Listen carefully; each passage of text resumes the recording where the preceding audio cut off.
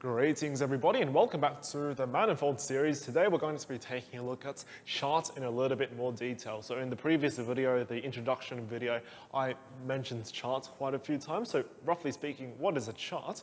Well, it's just a way to give coordinates to small regions in our topological manifold. Because our manifold is a very abstract space still, we would wish to describe our very abstract space in a bit more of a concrete way using a list of numbers. So let's take a look at an example. We'll take the torus as our example. I always like drawing the torus over here.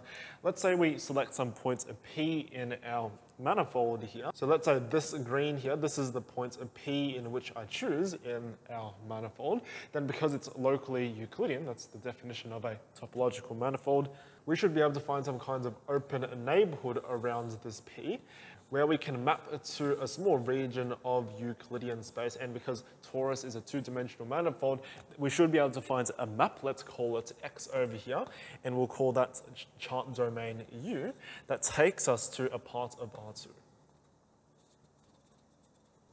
And what we had our points P over here, maybe P gets mapped somewhere in this chart, and let's say it gets mapped over here. Now this point, that would be X of P.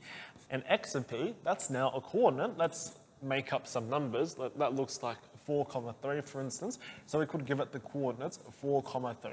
But this is really just something I choose. It depends on what chart I pick. And we said last time that this x over here, that has to be a homeomorphism. So he wants this image in our Euclidean space to be a nice representation of what's going up in our manifold, which means it has to be invertible as well. So we can go back up from this chart here into the manifold via the map x inverse. So let's make a bit of a definition over here. So what's a chart? The chart has two pieces of information. First of all, you need to know what the chart's domain is. So that's going to be the U over here. And furthermore, you need to know what the chart's map is, which is X. So U, this is called the chart's domain. And this X over here, this is what we call the chart map. And both of these together form what we know as a chart, which is just these two pieces of information. So charts give us coordinates to abstract points on our manifold. Now it's very important to realize that points on our very abstract manifold here still, they have no coordinates. For example, you could model the Earth as a sphere or a topological manifold, and you could say, well, different locations on the Earth or different cities whatsoever, they're just abstract points on this topological manifold. You could say, well, look at Sydney over here. Well, I see Sydney as a point on my manifold. Does Sydney have any coordinates? Well, the answer is no. That's a bit silly. You just don't look at Sydney and you see um, a pair of coordinates over there. However, we can describe Sydney Sydney using coordinates if we choose to look at a chart. So the Earth as it is, if we model it, it doesn't have coordinates yet, but if now you pull out a map of the Earth, which is essentially what a chart is, it's simply just a map of a small region of the Earth. So you could pull out a map over here and maybe um, here's Australia, let's say and we'll put some Tasmania down here as well. And you say, oh, well, there's Sydney over there. That is Sydney. And maybe using this chart, I could give Sydney some coordinates, let's say um, 5 comma 2 for instance. So Sydney in this chart would have the coordinates 5 comma 2. That's how I choose to describe Sydney. Now someone else or somewhere else might choose a completely different chart. Maybe they choose, maybe they're from New Zealand, right? So they want to um, include New Zealand somewhere in the chart and then Australia would be um, sitting up over here and maybe Sydney would be right over here. Well, this is their choice of a chart now. This is how they want to represent this very abstract manifold. And now Sydney has completely different coordinates. Maybe it has coordinates um, 3 comma 4. So the coordinates in which we give points on our very abstract manifold, they depend on the charts we use. They depend on how we want to represent points on our manifold. Right, so kind of like with that Sydney example over there, we have one chart which kind of covers that points P. We could also pick another chart that kind of covers that P as well, and the charts are allowed to overlap. So we might have a completely different coordinate system in this other chart, which I'll call, let's say, V, and then the chart map I'll call Y instead. So here's a map of Y, which takes us down into a subset of R2. So maybe it looks like um, this in some way, I don't know.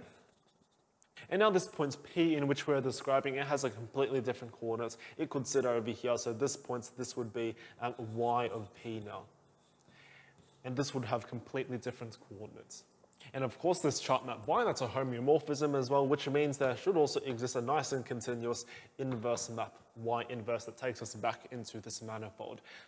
So as you can see, if we take a look at points on our manifold as coordinates, it entirely depends on how we wish to view the manifold from different charts. So you might say, well, if one person wishes to view the manifold this way, and then here you have another person, this is their perspective on the manifold, is there a way to nicely translate between these two representations here? And yes, there is. That's exactly called the chart transition map, which is a map that takes you from this domain over to here, provided that these two charts, the chart domain, slightly overlap a little bit over here, which I'll kind of color in green. So this is the overlap. Not too sure if you guys can see that clearly, but there is some kinds of overlap between those two charts. And in these local Euclidean spaces here, you could think about these overlaps as being right over here, let's say. So here are the overlaps. So in particular, what we call the chart transition map takes us from this small little overlap here into another overlap region. So what exactly is this map? Well, to go from this chart to over here, first of all, we have to go up via x inverse, and then we're in this intersection here, and then we can map down via the map y. So this is precisely y after x inverse, and this is what we call the charts transition map. So I'll make it a little bit more clear over here. So now we have what we call the charts transition map, or just the transition map for short. So a chart transition map, you need two charts that are slightly overlapping. So you could have chart domains U and V. So you take a look at the intersection here. Then what you do is you map down via X and via Y as well into these nice local Euclidean spaces. So you get to something like X of U intersect V. And then you also have Y of U intersect V. And both of these guys over here are definitely a subset of r to some d power, or r to the dim m, the dimension of the manifold. And then you have you know, this over here, so it's subset of r to the dim m. And the transition map just takes you between these two spaces over here. And notice that this map y after x inverse, this is just a map between Euclidean spaces, which is nice. And I'll just emphasize over here, we're just assuming that this u intersect v is not equal to the empty set. And now here's some key observations about chart transition maps. First of all, chart transition maps, these are homeomorphisms. Now, why are they homeomorphisms? Well, it's because you're composing a homeomorphism, Y, this chart map, with X inverse, which is also a homeomorphism. And the composition of homeomorphisms is indeed a homeomorphism. So chart transition maps are homeos, which means that they are continuous as well. So they are continuous. And continuous, you could also describe it as being C0. So C0 is how we talk about a map being continuous. And if the chart transition maps over here, if these are continuous, or in other words, there's C0, then there's a bit more terminology. What you say is that U comma X, so this is one chart, and V comma Y, this is the other chart, these are C0 compatible which simply means that they work well with each other at the level of continuity. So in some future videos where we start taking a look at differentiability, we might not only require that these two charts here are C0 compatible, I mean every single chart is C0 compatible because they're all continuous, we might impose some extra conditions on this compatibility. For example, we might require that they're C1 compatible, which means that they are once continuously differentiable. Or we might even require that they're C infinity compatible, which means they're infinitely many times differentiable or smooth. So we'll take a look at the implications of those restrictions in future videos, but I might as well mention it now.